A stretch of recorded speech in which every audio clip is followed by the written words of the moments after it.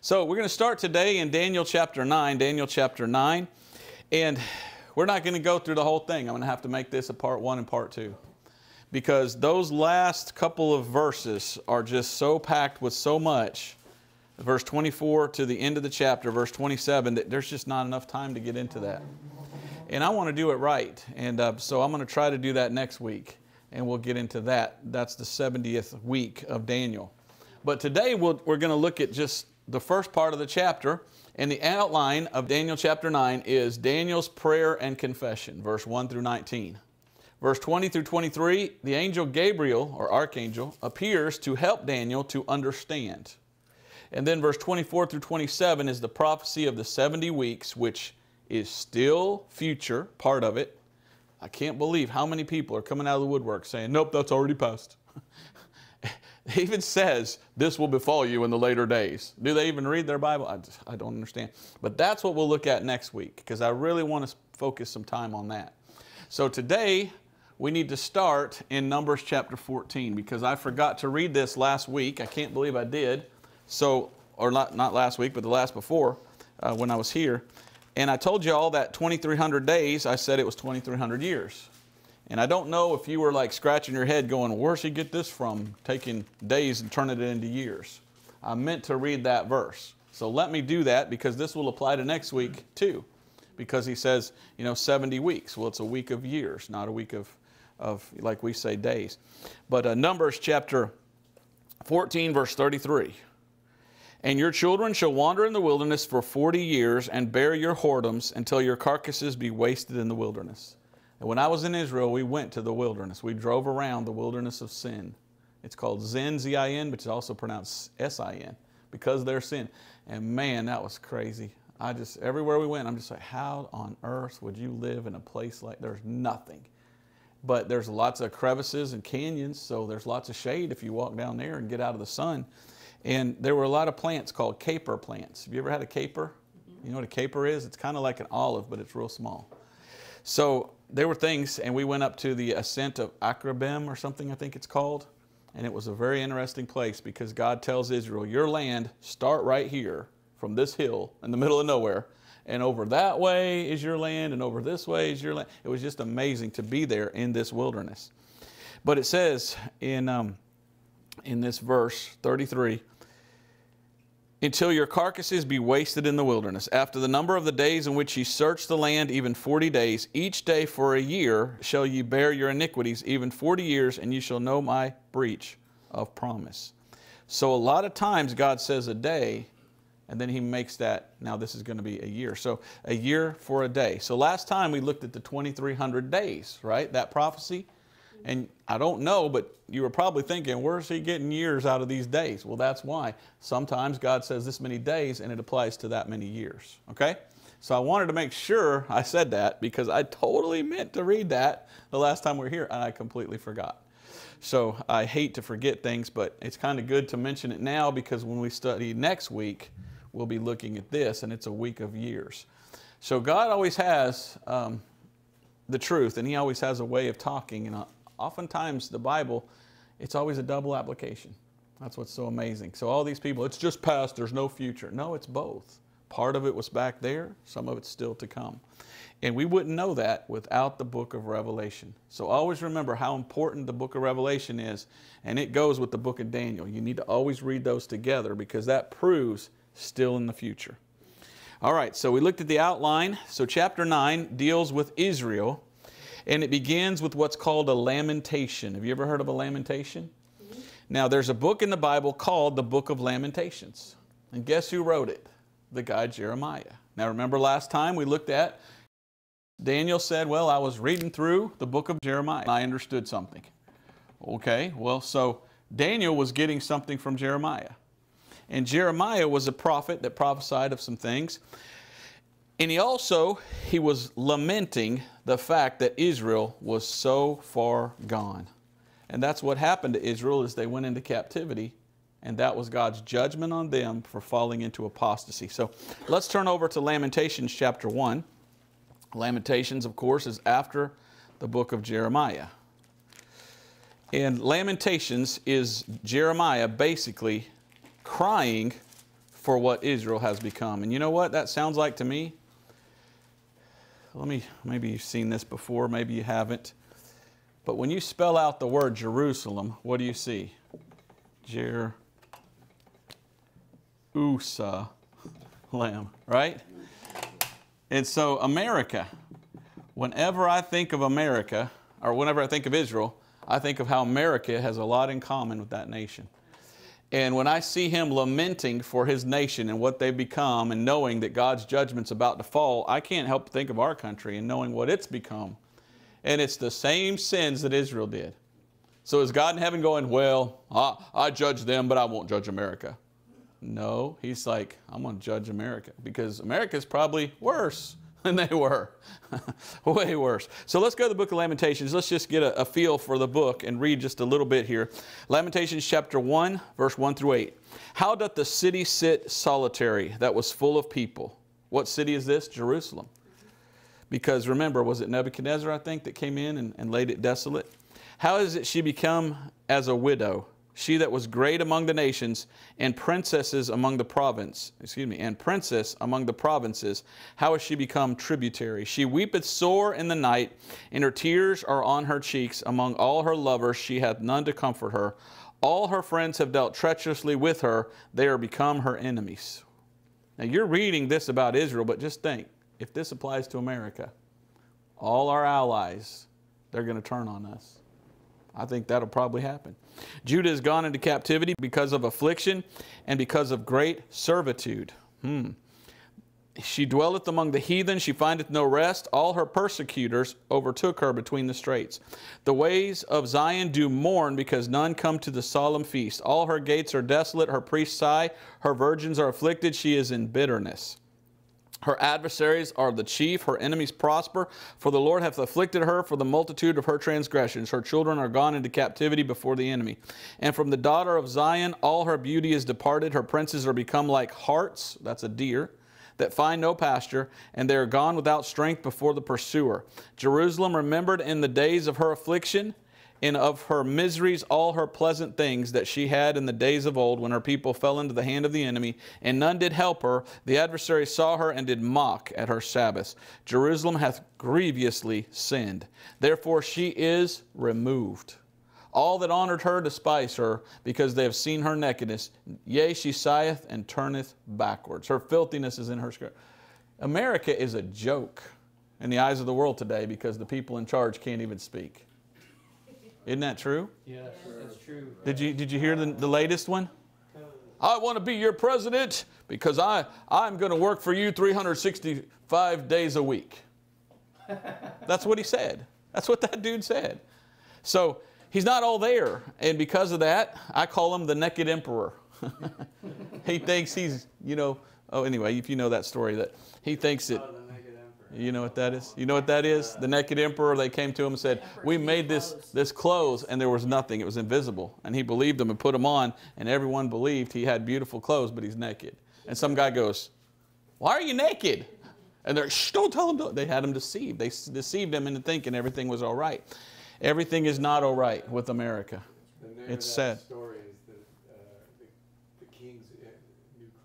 The King's New Clothes is the name of that story. Look that up. It's pretty interesting. So uh, skip down to verse 16 through 18 real quick. For these things I weep. Mine eye, mine eye runneth down with water, because the comforter that should relieve my soul is far from me. My children are desolate, because the enemy prevailed. You remember that old commercial where it was about somebody was littering, and then they showed an American Indian, and he just a tear going down because oh, yeah. he cried for his country. Yes. That's nothing compared to today. But let me ask you this: Have you ever cried over your country? Have you ever shed tears because you see how awful America's becoming? I felt very depressed. Yeah. We all feel depressed. Verse 17 Zion spreadeth forth her hands, and there is none to comfort her. The Lord hath commanded concerning Jacob that his adversaries should be round about him. Jerusalem is as a menstruous woman among them.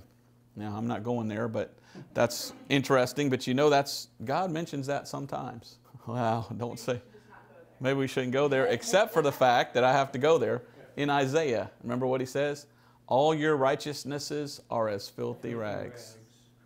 And people say, well, in the Hebrew, that's a menstruous rag or something like that. But do we need to go there? No, we don't. But I'm just saying, it's funny how God looks at people and what he says. Now, what does that remind you of? Why does a woman have that? Because of the first sin, the sin of Eve. If Eve hadn't sinned, we'd all, well, we wouldn't be here, would we? But somebody said, where would, where would men be without Eve? In the garden having a time, right? Uh, but then we probably wouldn't be here because we need Eve to have babies. But uh, it's interesting how God looks at things. And if you're a woman, this, this might mean more to you, you know, how a certain time of the month you just feel really dirty. Well, God is saying to Israel, You're a woman. Remember that? She's a princess. And God says, You just, you're filthy to me. You're, you're polluted. The Lord is righteous, verse 18. For I have rebelled against his commandment. Here I pray you, all people, and behold my sorrow. My virgins and my young men are gone into captivity. Now, verse 21 and 22. They have heard that I sigh. There is none to comfort me. All mine enemies have heard of my trouble. They are glad that thou hast done it. Thou wilt bring the day that thou hast called, and they shall be like unto me. Let all their wickedness come before thee, and do unto them as thou hast done unto me for all my transgressions, for my sighs are many, and my heart is faint. So this is interesting because he's lamenting what happened to Israel, but he's confessing the sin of Israel. We have sinned, we've done wrong. But then he says, When you judge us, Lord, make sure you judge those people that judge us. We just read, you know, the whole book of Daniel so far, and what was it? Here comes Nebuchadnezzar to judge Israel, then God judges him. Then the Persians take over, and God judges them. It's just like a never ending cycle. The judgment guy goes, okay, you go get him. And then they do, and they do wrong. God goes, okay, you go get him. And then it just keeps going like that. Isn't that crazy? So maybe they should just do right. It would be the best thing. So the enemies of Israel shall fall, it says, and Babylon fell. The Medes and the Persians, they fell to Alexander the Great. I firmly believe that the United States of America will fall someday because of their sin. And so read the book of Lamentations and think of the USA and pray for the United States of America. All right? Now, let's go to Daniel chapter 1. And Daniel has quite an amazing life. Or excuse me, chapter 9, verse 1. Daniel has an amazing, amazing life he gets to meet so many of these world rulers that today we remember as some of the greatest world leaders in the history of mankind. And he got to live through and see all these guys. So he got to hobnob with the big wigs, is how they say it, right? And uh, he got to witness to them in a way of pointing them to, you know, the Old Testament Jehovah. Now, Daniel chapter 9 and verse 1. In the first year of Darius, the son of Ahasuerus, well, I've heard that pronounced so many different ways. it's Ahasuerus is the way I say it. That sounds best to me. And the son of Ahasuerus, of the seed of the Medes, which was made king over the realm of the Chaldeans. In the first year of his reign, I, Daniel, understood by books the number of the years whereof the word of the Lord came to Jeremiah the prophet that he would accomplish 70 years in the desolations of, of Jerusalem. And I set my face into the Lord God to seek by prayer the supplications with fasting and sackcloth and ashes. So, because there was the prophecy of Jeremiah, Daniel says, by reading that, I understood there's going to be this 70 year thing. Well, we're looking at the 70 year thing today, but next time we're going to look at the 70 weeks thing. Remember, God always uses numbers, and often 70 or, or 7. Seven's the number of completion. So Daniel's reading the book of Jeremiah and he's like, oh, that's what that prophecy applies to. Now, he's in the first year of King Darius, which is about 538 BC. So he's about right here. And he understands something. What do you think he understood? Well, Jeremiah was written somewhere between 626 and 586 BC. But he lived during the time that he saw the desolation. So he must have been alive. So it's got to be somewhere in between here, somewhere around that time, because he saw how they made desolate his city.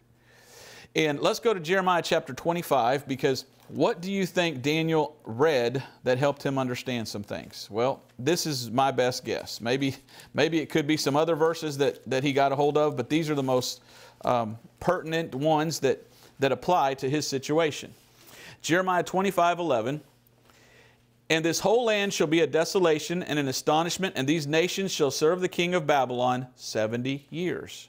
And it shall come to pass when 70 years are accomplished that I will punish the king of Babylon and that nation, saith the Lord, for their iniquity, and the land of the Chaldeans, and will make it a perpetual desolations.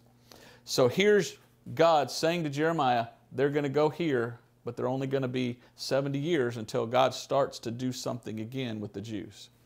And we see that with the first decree to go and start to rebuild the temple. But there are a lot of different decrees.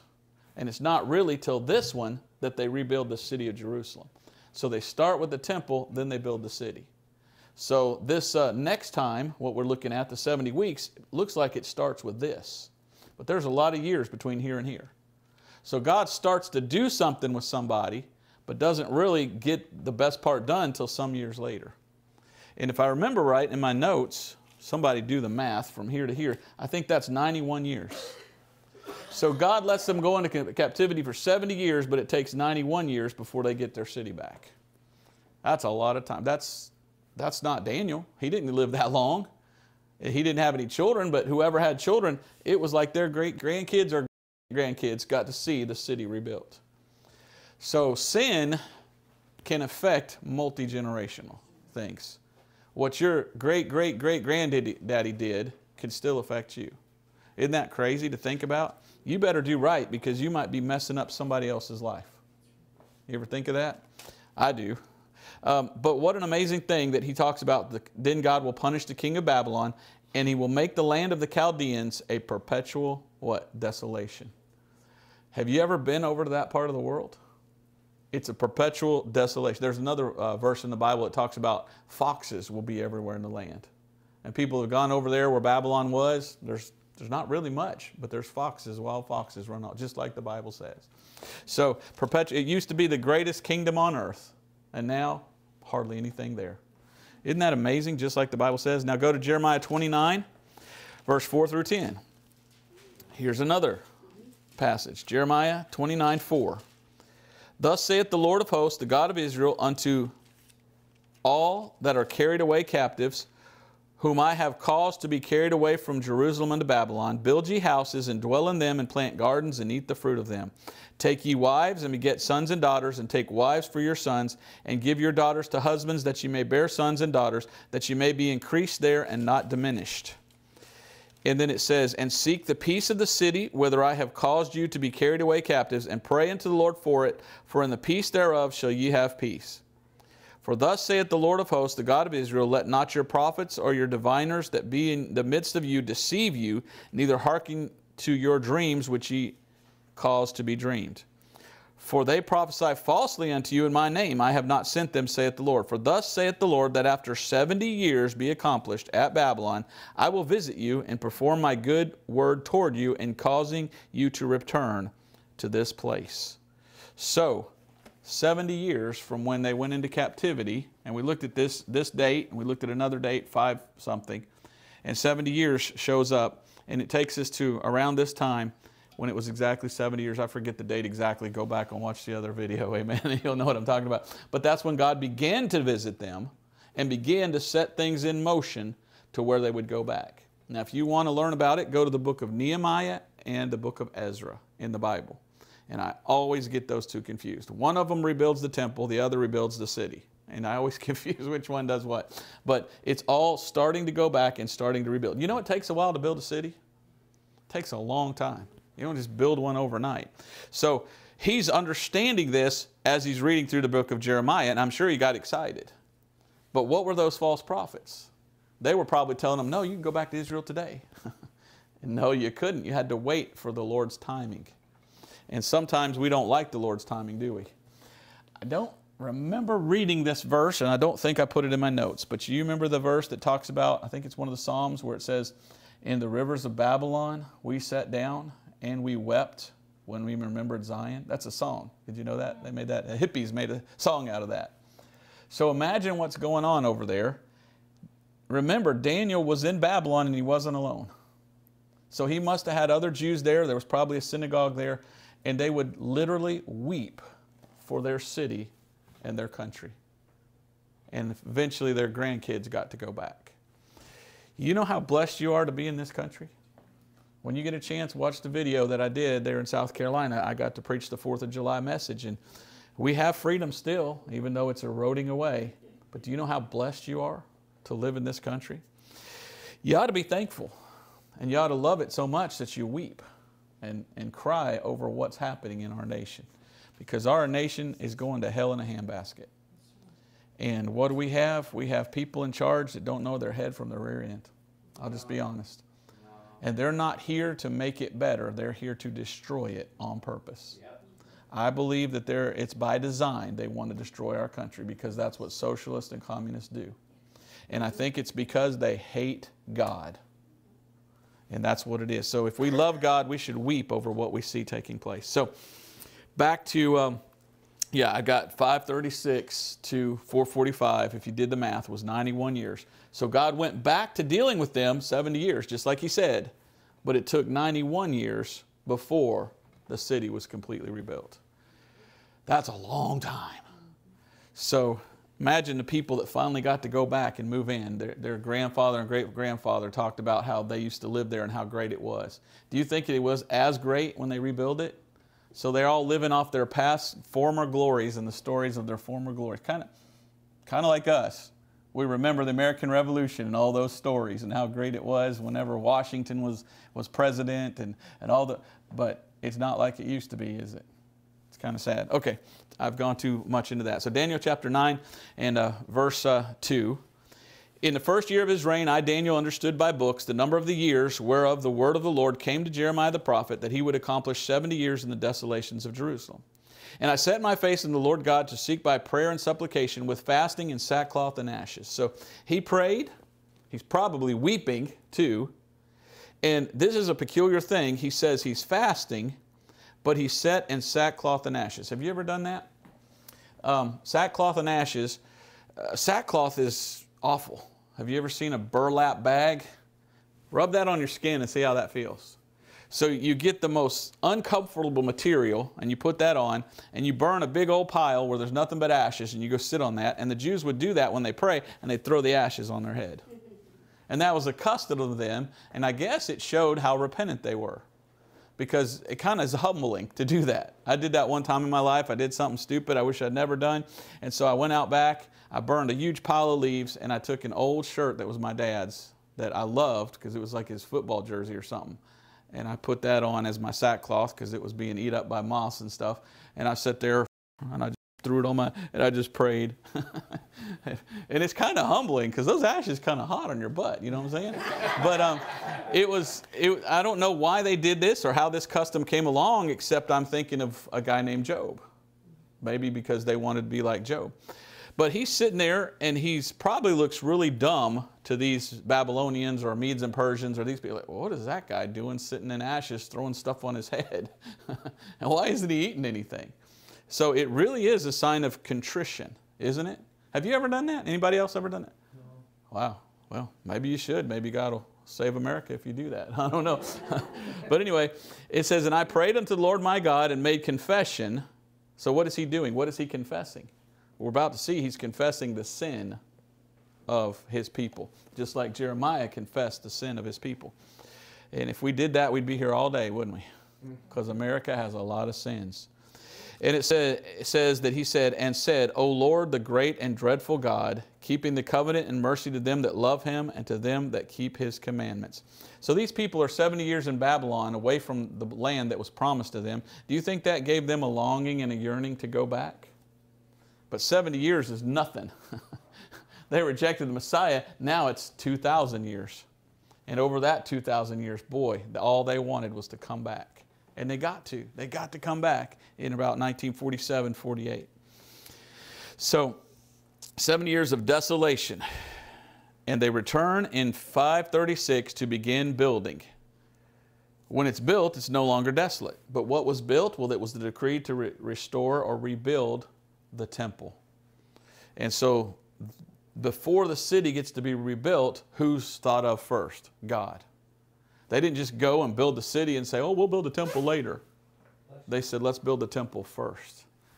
Here we are 2,000 years after they rejected the Messiah, and they did it backwards. They went and they built the city, but they still haven't built their temple yet. It's almost like they put God last. Isn't that wild? it's kind of like the Bible's written for a reason. They should be reading it, and they should have said, We ought to put him first. I don't think they did. So here we go. He confessed their sins. What was the sin of Israel that led to it becoming desolate? Idol worship and rebellion against the law of Moses. They did not keep the Old Testament law. God told Israel that they would go into captivity in Babylon. Go to Isaiah 39. I just want to uh, take a little time here to show you this. Um, my thinking is if God told them this, there's things that God told us too in the New Testament. So a lot of people read the Bible and is like, oh, that's just a history book, all that's past. No, I think these are history lessons for us to show us how to live our lives. Amen. Amen. So Isaiah 39, 5 through 8. It says, Then said Isaiah to Hezekiah, Hear the word of the Lord of hosts. Behold, behold, the days come that all that is in thine house, and that which thy fathers have laid up in store until this day, shall be carried to Babylon. Nothing shall be left, saith the Lord. And of thy sons that shall issue from thee, which thou shalt beget, shall they take away, and they shall be eunuchs in the palace of the king of Babylon. We saw that's what happened to Daniel. They took away his ability to have children. That's what they do to a eunuch. Then said Hezekiah to Isaiah, Good is the word of the Lord which thou hast spoken. He said, Moreover, for there shall be peace and truth in my days. Now that's very selfish. Hezekiah heard that prophecy and he said, Oh, that's going to happen in the future. Well, that's good. I'm going to be okay. What a selfish person. Does he not care about his posterity? In America today, they don't care. They just keep running up the debt. They don't care that the sons and grandsons will have to go through something. That's a selfish, selfish person. Now, Jeremiah also prophesies. Let's go to Jeremiah chapter 50. And basically, what I wanted to do is just, just run other verses until we get to next week, which will be so awesome. But I just want you to think about, because this is what I thought about, because the 4th of July came how so much we have in common as Americans with them back then. And they fell into apostasy. They, they worshiped idols. They didn't follow the law. What's America doing? They're not following the laws of the land, and they watch American Idol.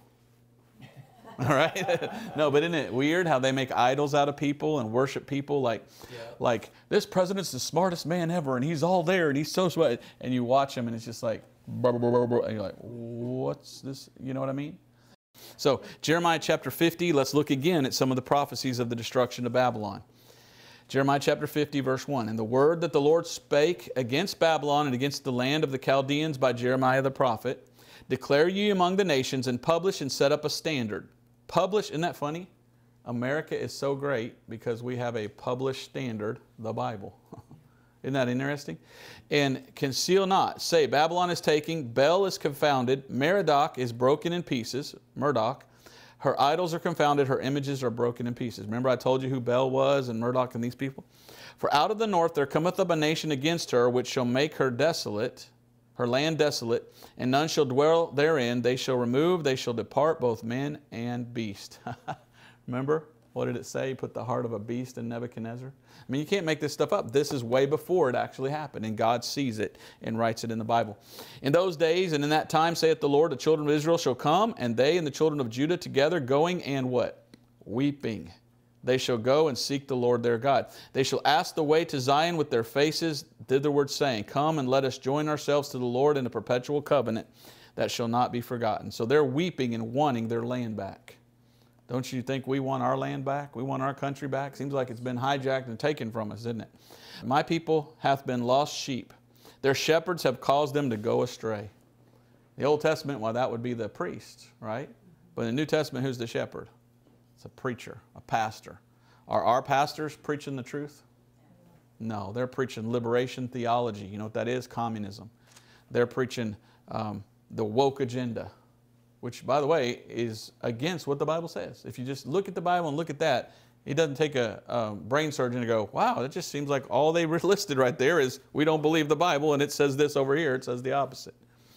They have turned them away on the mountains. They have gone from mountain to hill. They have forgotten their resting place. All that found them have devoured them, and their adversaries said, We offend not, because they have sinned against the Lord, the habitation of justice, even the Lord, the hope of their fathers. Israel is all about their forefathers. What's so neat about America? What do we remember on July 4th? Our founding fathers. There's such a correlation between America and Israel. It's just, it's so amazing. Remove out of the midst of Babylon and go forth out of the land of the Chaldeans and be as the he goats before the flock. Who was the he goat we saw? That was Alexander. And God's saying, Jews, I'm going to let you leave Babylon and go back, and you'll be like a he goat when you go back there. For lo, I will rise and cause to come up against Babylon an assembly of great nations from the north country, and they shall set themselves in array against her from thence. She shall be taken, their arrows shall be as of a mighty expert man, none shall return in vain. And Chaldea shall be a spoil, all that spoil her shall be satisfied, saith the Lord. Uh, skip to verse 13 through 15. Because of the wrath of the Lord, it shall not be inhabited, but it shall be wholly desolate. Everyone that goeth to Babylon shall be astonished and hiss at all her plagues. Man, could you imagine going to Babylon and you just walking through the land and you're like hissing because there's foxes, there's snakes, there's bears, there's, I mean, just, it's a dangerous country. That's how God judged it. That's funny.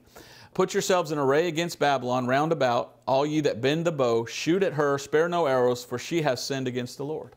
So God judged Israel for sinning against the Lord. Then Babylon takes her over and sins against the Lord, so he judges Babylon. Verse 15, shout against her round about. I just, I don't know, Fourth of July just came and I think about the shot heard around the world. And here's the shout heard round about. it's just almost the same word shout, shoot, I don't know.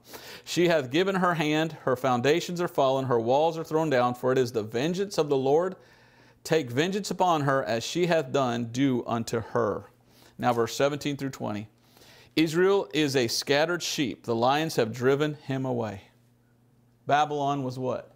They had a lion. Remember? We looked at that. That was their main thing. What's, what's America's main thing? An eagle which by the way, Rome was an eagle. It says, uh, First the king of Assyria hath devoured him, and last this Nebuchadnezzar, king of Babylon, hath broken his bones. Therefore, thus saith the Lord of hosts, the God of Israel Behold, I punish the king of Babylon and his land as I have punished the king of Assyria.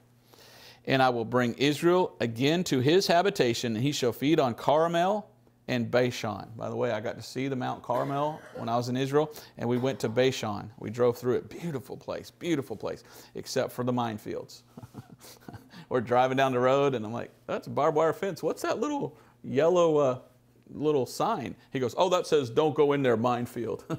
and then there's the border of Lebanon right there. So Bashan is beautiful except for the minefields, you know. And his soul shall be satisfied upon a Mount Ephraim and Gilead. In those days and in that time, saith the Lord, the iniquity of Israel shall be sought for, and there shall be none, and the sins of Judah, and they shall not be found, for I will pardon them whom I reserve. So God, 70 years later, says, Now, I'm going to pardon them. I'm going to let them go back to their nation. If he did it once, do you think he's going to do it again? There are people out there that believe in replacement theology. God's done with the Jews. Then why is there the nation of Israel all over again? Because he ain't done with them. He made a promise and he told them forever. When God says forever, he means forever. So God used Babylon to discipline Israel. And then he used the Medes and Persians to discipline Babylon. And then because they were wicked and evil, he used Alexander the Great to discipline them. And because Alexander the Great was evil and he thought he was a god, did you know that? I forgot to say that, I think, when we, when we studied him. Uh, he went to Egypt and they told him that you're a god. So he thought he was an Egyptian god or something. Um, then God judged Greece. And so every nation better serve God or else God's going to build a bigger nation to go against them. And maybe America needs to remember it says in God we trust on our money. So maybe that's why they're trying to get rid of our money and do the CBDC or whatever. Um, History history repeats itself. I can't say it, can't say it any better. Turn with me real quick to Psalms 137. This might be what I mentioned earlier. It's in my notes here. Psalms 137. So I just want you to know that as we're looking at what Daniel says, Daniel's trying to make sense of all this and why did it take him nine chapters to go, you know, maybe I should go read Jeremiah? you think he would already been reading it. But all of a sudden he's like, maybe I should go read Jeremiah. Maybe that applies to me. And now he's seeing, oh, yeah, God prophesied all this. And imagine him thinking, wow, God put me right in the middle of some of the greatest kings in the entire history of the world. And he's put me right here to be a, a light and a testimony to all these guys.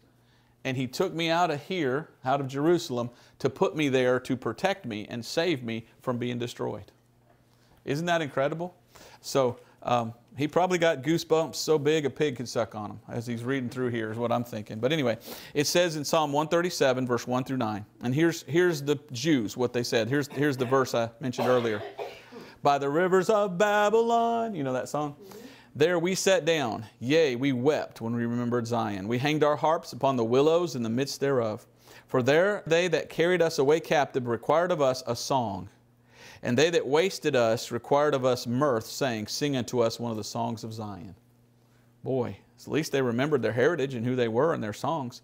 How shall we sing the Lord's song in a strange land? If I forget thee, O Jerusalem, let my right hand forget her cunning. If I do not remember thee, let my tongue cleave to the roof of my mouth. If I prefer not Jerusalem above my chief joy. Remember, O Lord, the children of Edom in the day of Jerusalem who said, Raze it, raze it. What does that mean? Raze it to the ground, burn it down, even to the foundations thereof. O daughter of Babylon, who art to be destroyed, happy shall he be that rewardeth thee as thou served us. Happy shall he be that taketh and dasheth thy little ones against the stones. That's kind of hard to be happy about. But uh, it's interesting. That was David, one of the songs of David, and it was like he was reliving what they went through before they got to come back and rebuild their city, which happened when. Um, well, don't know. That was that was a prophecy because David was about a thousand BC, wasn't he? So he's writing that, and that's a prophecy of when we do go into captivity and we're in Babylon. So the Bible is full of prophecy. Now let's go back to Daniel and see if we can finish this thing up. Um, I put this together a week ago and I've just been holding on to it, but uh, I like it to be fresh, like I just studied for it, but I've been going so much and traveling. So back to Daniel chapter 9. So he's praying there in verse 4, and he says, We want to keep the covenant. We broke the law, now we want to keep the law. Verse 5, he gives his confession. We have sinned and committed iniquity and have done wickedly. I mean, three times, that's three different ways of saying we did wrong. We done bad. That's what he's saying. We done bad. And it says, and have done wickedly and have rebelled. Now, four times. Even by departing from thy precepts and from thy judgments. And then he says, Neither have we hearkened unto thy servants, the prophets, which spake in thy name to our kings, our princes, and our fathers, and to all the people of the land. So he's saying, hey, we didn't listen to Jeremiah. We didn't listen to Isaiah. We didn't. Isn't that amazing that God warned them several times over and different prophets and they didn't listen? Um, well, I guess we have to go to Micah chapter 4 and verse 10. So go with me to Micah chapter 4 and verse 10. This is an interesting verse. Micah. So start with Malachi and work backwards till you can find Micah. Micah chapter 4 and verse 10. I know it's in the Bible. I saw it the other day. And, Micah chapter 4 and verse 10. Here's amazing. Be in pain and labor to bring forth, O daughter of Zion, like a woman in travail. For now shalt thou go forth out of the city, and thou shalt dwell in the field, and thou shalt go even to Babylon. There shalt thou be delivered, for the Lord shall redeem thee from the hand of thine enemies. Now imagine reading that in about 700 before Christ. And then you go into Babylon as a captive. And you're like, wow, God said that would happen, but He's going to deliver us. But you're not reading the rest of the Bible. He said for 70 years. So you're clinging onto that verse. He's going to deliver us. And for 70 years, you keep thinking He is, and nothing happened. You think they kind of had some doubts? You think they kind of you think that's why the false prophets came up and said, no, man, the rapture's coming this, I mean, I'm sorry, the, the, the, the leaving of, of Babylon's coming this year. And they got discouraged. But if they'd read their Bible, they would have known exactly when God would start dealing with them. That's why I think maybe the Bible has the date of the rapture.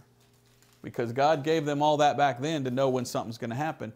He must have given, it. now I don't know what it is, but I'm saying I bet it's in there. Because He tells you it'll be this many days till this. So it's got to be there somewhere, you know. But it's all there in the Bible. God doesn't ever leave anyone in the dark.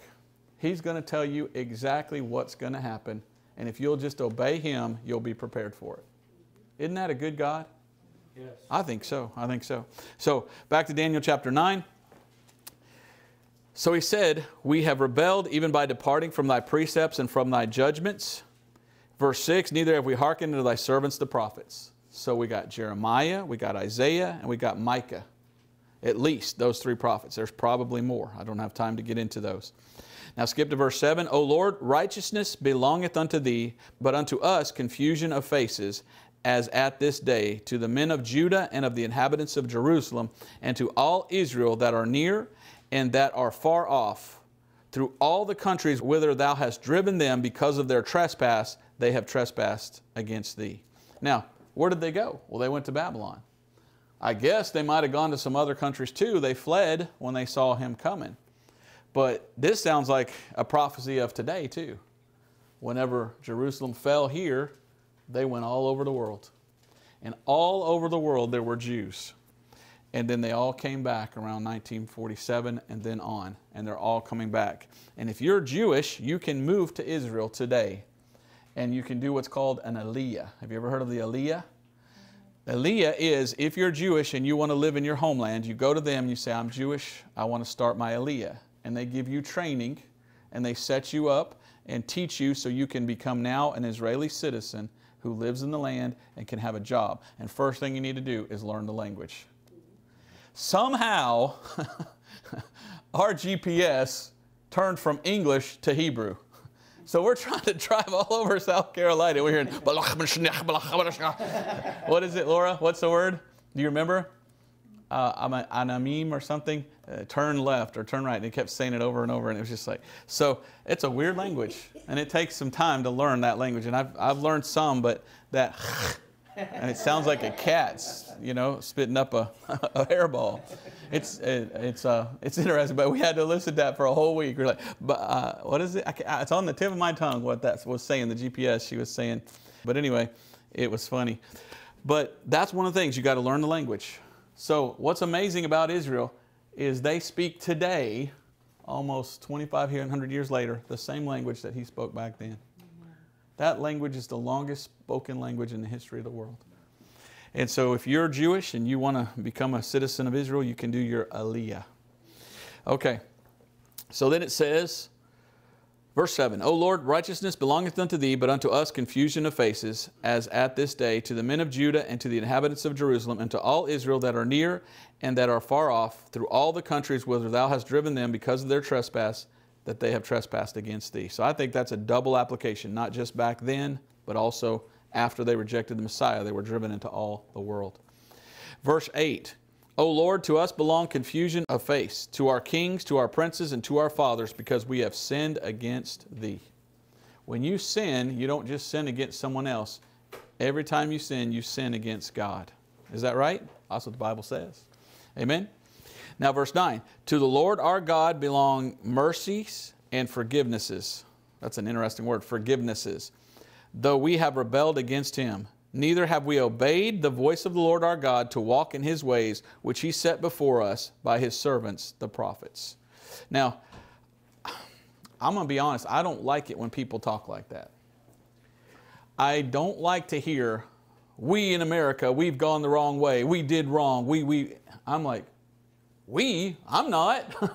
I'm not doing wrong. I, I hate that they say we, but when you're part of that country, you're part of them but it just it, it just bothers me. It's like America this, America that. We we we. I'm like, not me. I'm like the guy trying to stand against it.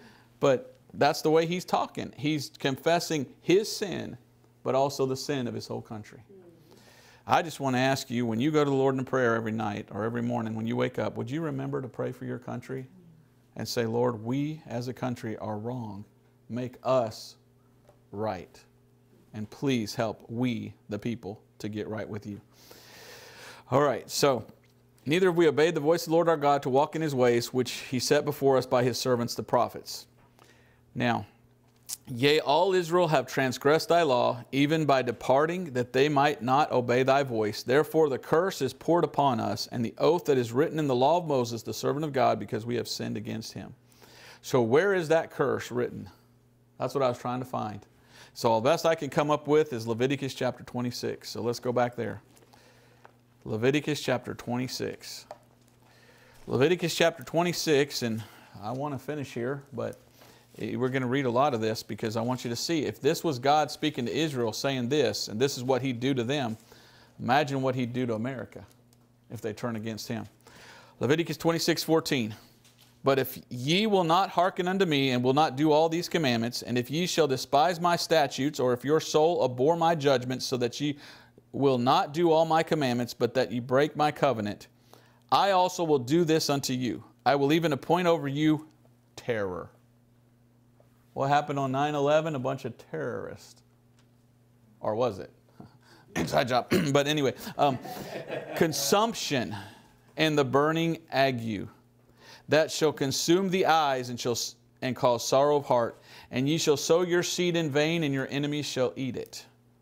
And I will set my face against you, and you shall be slain before your enemies. They that hate you shall reign over you, and ye shall flee when none pursueth you. Skip down to verse 21. And if you walk contrary to me and will not hearken unto me, I will bring seven times more plagues upon you according to your sins. You thought COVID was bad. Imagine six more of those. In verse 25, and I will bring a sword upon you and shall avenge the quarrel of my covenant. And when ye are gathered together within your cities, I will send the pestilence among you, and ye shall be delivered into the hand of the enemy. Uh, skip to verse 31. And I will make your cities waste and bring your sanctuaries unto desolation and I will not smell the savor of your sweet odors. And I will bring the land into desolation, and your enemies which dwell therein shall be astonished at it. And I will scatter you among the heathen, and will draw out a sword after you, and your land shall be desolate, and your cities waste. Boy, what could lay a land desolate? Somebody shot nukes. And what are they talking about? talking about stuff like that. Verse 29 And they that are left of you shall pine away in their iniquity in your enemies' hands and also in the iniquities of their fathers shall they pine away with them. Uh, verse 40 If they shall confess their iniquity and the iniquity of their fathers, which their with their trespass which they trespassed against me, and that also they have walked contrary unto me, and that I also have walked contrary unto them, and have brought them into the land of their enemies, if then their uncircumcised hearts be humbled, and they then accept of the punishment of their iniquity, then will I remember my covenant with Jacob, and also my covenant with Isaac, and also my covenant with Abraham. Will I remember, and I will remember the land. Skip to verse 44. And yet, for all that, when they be in the land of their enemies, I will not cast them away, neither will I abhor them to destroy them utterly, and to break my covenant with them, for I am the Lord their God. But I will, for their sakes, remember the covenant of their ancestors, whom I brought forth out of the land of Egypt in the sight of the heathen, that I might be their God. I am the Lord.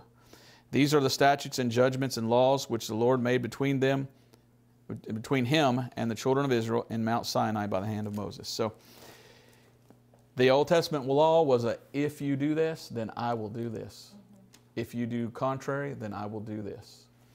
So, America, do you think America is going contrary to what God says in the Bible, how a nation yes. should be? It's kind of sad, isn't it? It's kind of sad. All right. Daniel chapter 9. As it is written in the law of Moses, all this evil has come upon us, yet made we not our prayer before the Lord our God, that we might turn from our iniquities and understand the truth. So, getting away from sin, but also understanding the truth. Verse 14 Therefore hath the Lord watched upon the evil and brought it upon us, for the Lord our God is righteous in all his works which he doeth, for we obeyed not his voice. God doesn't do evil, does he? But did you see verse 13? All this evil has come upon us. It wasn't God that did them evil. They did evil, so God says, Well, then I'm backing away. I'm taking this hedge of protection away. Now you watch these guys come take you over and do the evil. God didn't do that. God is righteous. But they deserved that because of their sin, didn't they? Some people try to say, Well, God sinned and He did evil to them. No, He didn't. He backed away and let the evil happen because they're doing evil against God. That means when you're doing right, God kind of has a little hedge over you, doesn't He? He kind of protects you a little bit when you're doing right. When you quit, He just goes, Oh, okay, see what happens now. Oh boy, that, that ought to scare you into wanting to do right. Now, verse uh, 15. And now, O Lord our God, that hast brought thy people forth out of the land of Egypt with the mighty hand, it has gotten thee renown as at this day, we have sinned, we have done wickedly. I'm like, man, speak for yourself. Quit putting me in there. We, we, we, you know? Anyway, O Lord, according to all thy righteousness, I beseech thee, let thine anger and thy fury be turned away from thy city Jerusalem, thy holy mountain, because for our sins and for the iniquities of our fathers, Jerusalem and thy people are become a reproach to all that are about us. what is he doing here? He's like, Lord, we're so wrong. We did wrong. We didn't obey the law. Yes, we deserve it. But he kind of, I'm, I'm sure he kind of went like this a little. But for the sake of your city, would you remember? I mean, you ever do that? That's like a kid. The kid always finds that one little soft spot, you know, where he can get something from mommy and daddy. Does he, does he do that? I love you, daddy. Oh, okay, here's a candy bar, you know. So he's reading his Bible. He's like, God said that that city was made by God, and that's where he'll put his name, and that's where God, that's, that's, that's God's city. So he's just praying, that, oh, we did wrong. We did. But would you just remember your city? Would you remember us for your city? Like he's kind of going, would you please let us go back there now? Does that see how he's doing this? Uh, no, he's not manipulating God, but he's learned how to pray the right way and ask for the right things, is what it sounds like.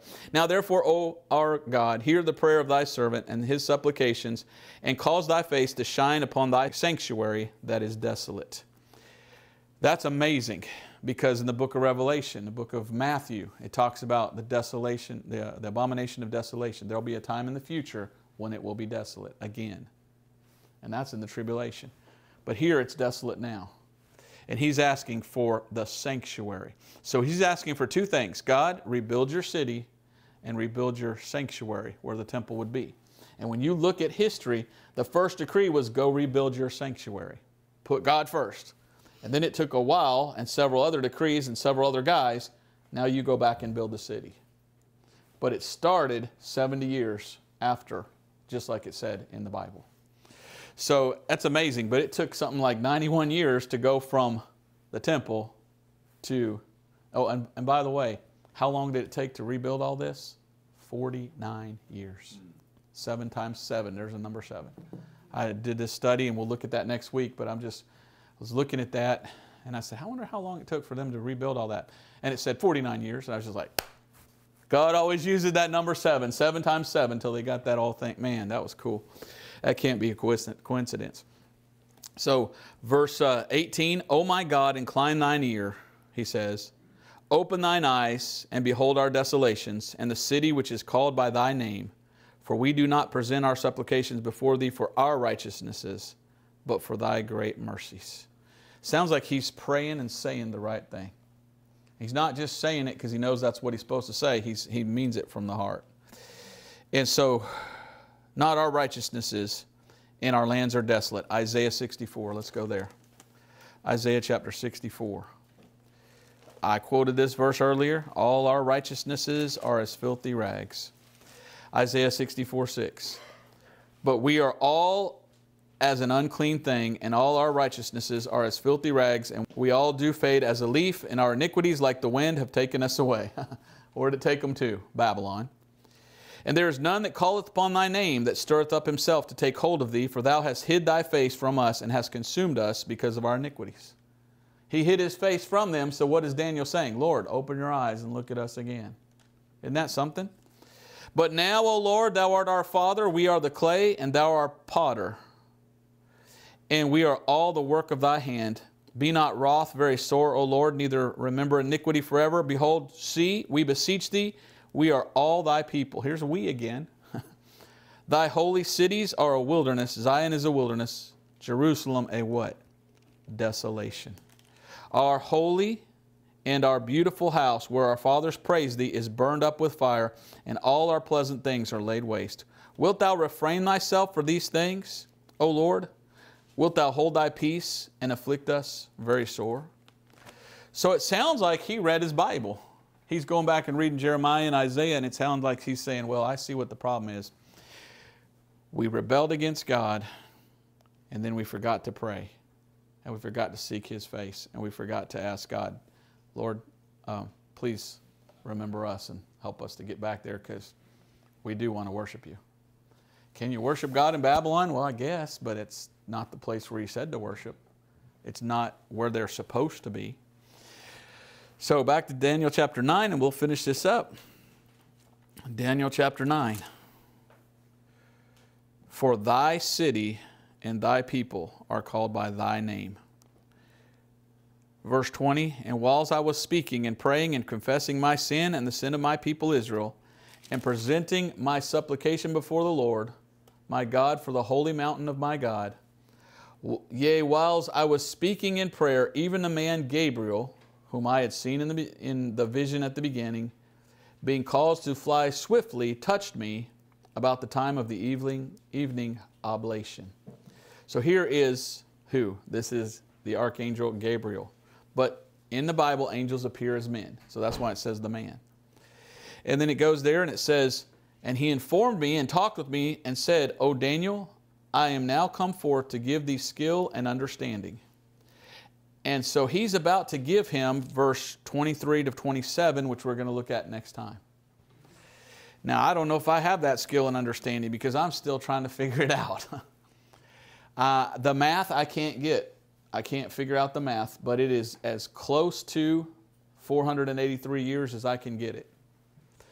But I'll show you that next time how it definitely is talking about this last decree and what they're doing and they're rebuilding.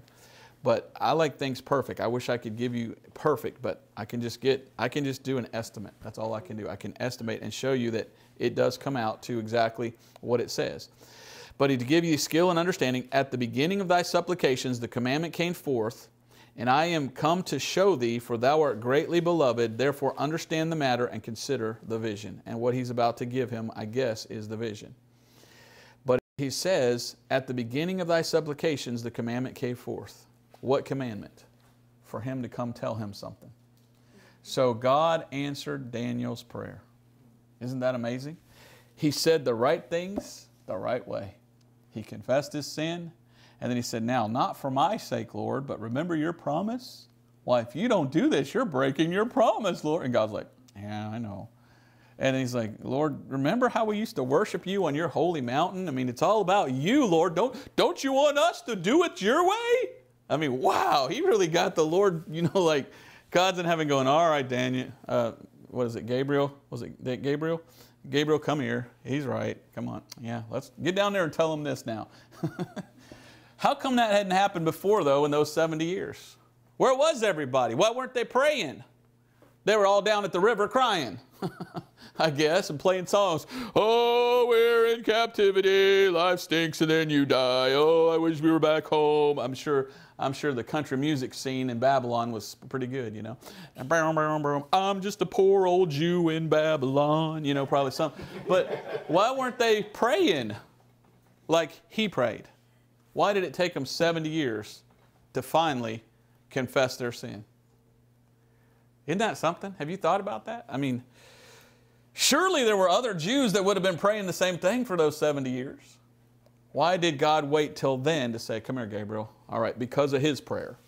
It sounds like there wasn't anybody else praying. He wanted them to learn. He, he did, but where were all the other people praying? That's my question if you don't get anything else out of this. Hey, America, are you praying? Are you confessing your sin? Are you asking God, please come at the rapture and get us out of this mess because we know your wrath's about to come in the tribulation? Anytime, Lord, you know? um, but for you, so we can worship with you in your holy mountain. I mean, remember us, Lord, because we remember you. I just think there needs to be more true Christians in America praying and asking Jesus to come. So, he says, And I am come to show thee, for thou art greatly beloved. What an amazing thing. He is great. You know, there's three men in the Bible Job, Daniel, and who was the other one? Daniel, Job, and Noah are the three guys in the Bible that God says were like up here in his eyes. They were the ones. Daniel is one of the most beloved people in the whole Bible. Now put yourself in Daniel's shoes. Did he have a right to be in the dumps and be bitter his whole life? Man, I didn't even get to stay in the city and worship God, man. to live over here. He had a right to just live in the dumps and, and, and not be what he should have been. But he, he said, no, I'm going to be even better than what I should be because I must be here for a reason. And I bet after he wrote the book of Daniel, he, he goes, wow, did God use me or what? I just got the vision of the history of the whole world and I got to write it down for people to see. So you might be in a place you don't want to be. Well, you shouldn't get in the dumps. You should be thankful because you have an opportunity for God to use you. And He can use you in a mighty way if your heart is right. And God loves people who are doing right no matter what. Wow, I might start preaching here in a minute, so I better wrap this thing up, right? Let me say this. He says, consider the vision. Understand the matter and consider the vision. What vision? What we'll read next time, verse 24 to 26, it's basically here's what's going to happen in the future, in the next 483 years. And there's no beast mentioned this time. I find that fascinating. No beast, or is there? Well, maybe there is a beast mentioned because the Antichrist shows up in the last of those seven years, and the book of Revelation calls him a beast. So, kind of interesting to see so many times a beast is mentioned. But uh, next time we'll get into this, and man, that's that's what I've been dreading because it's so hard to figure that out, and I'll just do the best I can. I like exact. I want to give you like, I want to go. So here's 483 years. So to the minute, to the hour, to the day. Here's what, and and I can't. All I can do is say, well, it's about 483 years. I can't get that thing as exact as I can, but I'll get it as close as I can. And it's hard to do that because guess what? We have the Gregorian calendar, we got the other calendar, we got the lunar days, we got the solar days. We got so I'm not good at math either, right? Two plus two is what now? Is it is it like 4.8 or something? See, I'm not good at math, so I'm not that good. But I'll do the best I can. I know what other people say about it, but I'll do my best to show you. And as I read through that passage more and more, I just have more questions. But I did get something, how, how it divides it up to seven years and then this many years. And so I'm looking forward to next week. I hope it's be a blessing when I'm not as tired. I have four hours sleep last night driving all the way from South Carolina. But next week is going to be fun, and we'll get more time to go into this whole prophecy because that prophecy, that vision we're going to read, is about what's happening from here to here. But that last seven years is out here after the rapture. And how anybody could say that the book of Daniel is all past makes me wonder if they know God from a cantaloupe. Because no, that book of Revelation ties into the book of Daniel, and it tells us that last seven years, and it has to be that last seven years of Daniel. And remember, Daniel is writing to his people, Israel. So that's not even to us. So we're just a little parentheses in between because they rejected the Messiah. Take us out, then you got 483, and then you've got that final seven years, which is called the time of Jacob's trouble. And then you have Jesus coming back to rule and reign for a thousand years.